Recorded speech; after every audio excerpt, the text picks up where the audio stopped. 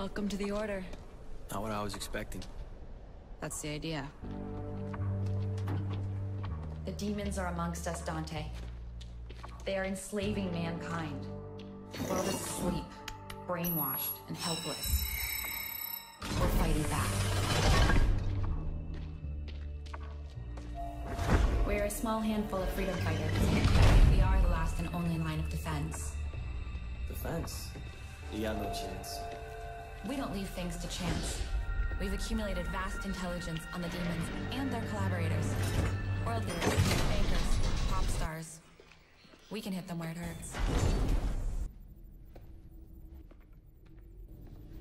You really believe you can make it then? Well, you guys do seem really nice, but uh, I'm more of a loner type. Trust issues, work alone, that kind of thing. So that's what this is about. You need me to fight the demons, help you save the world. No.